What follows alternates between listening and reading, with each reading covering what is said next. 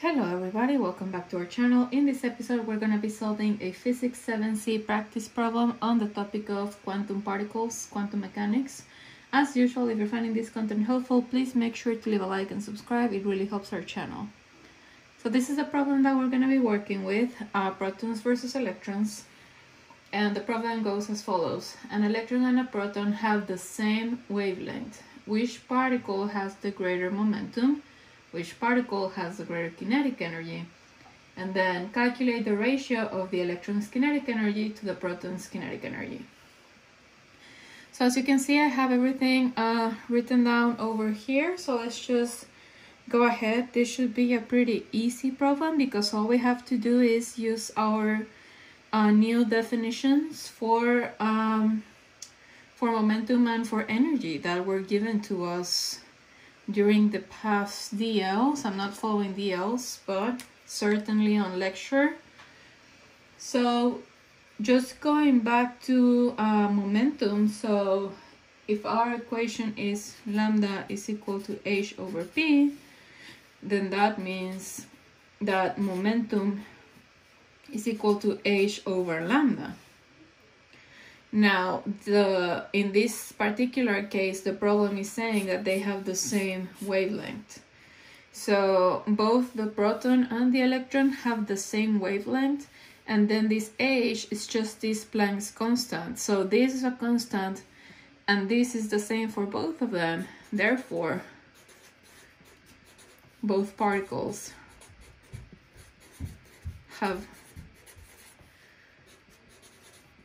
the same momentum. Final answer. Again, this is only because on this particular uh, quiz, uh, both of the particles have the same uh, wavelength. So now for the second part, who has uh, a greater kinetic energy? So let's go ahead and see. So for kinetic energy, we are given the equation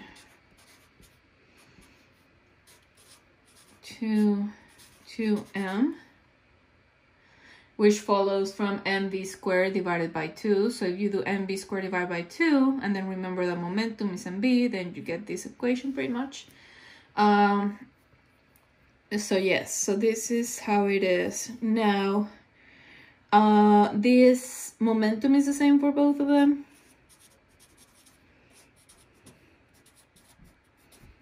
But then this mass is not the same.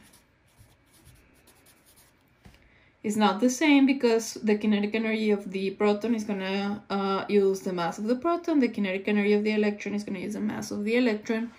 So no, they are not going to have the same kinetic energy. Now, who's going to have the greater kinetic energy?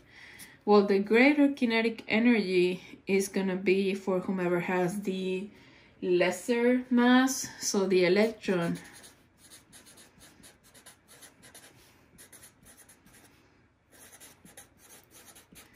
has a greater kinetic energy because both have the same momentum, but mass of the electron is smaller than mass of the proton. So final answer is that the electron has a greater kinetic energy. So now for part three, what they want is uh, a ratio. So they want kinetic energy of an electron divided by kinetic energy of a proton.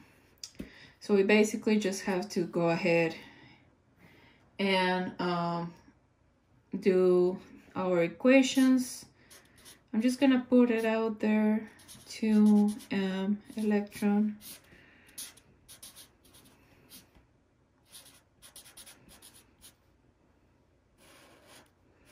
So like this, uh, the, these cancel out and then these two cancel out. So basically I have one over So they get flipped essentially. So this is mass proton over mass electron. So this, um, they got flipped because it's 1 over divided by 1 over. So this is 1.67 um, kilograms, which cancels out kilograms, so I'm not going to write that, 9.11. So let's just put this on a calculator. Um, 1.67 times 10 to the negative 27, close, close, divided by 9.11 times 10 to the negative 31, no, 31, close, closed. So 1833.1. No units because kilograms divides kilograms, so they cancel out. So final answer.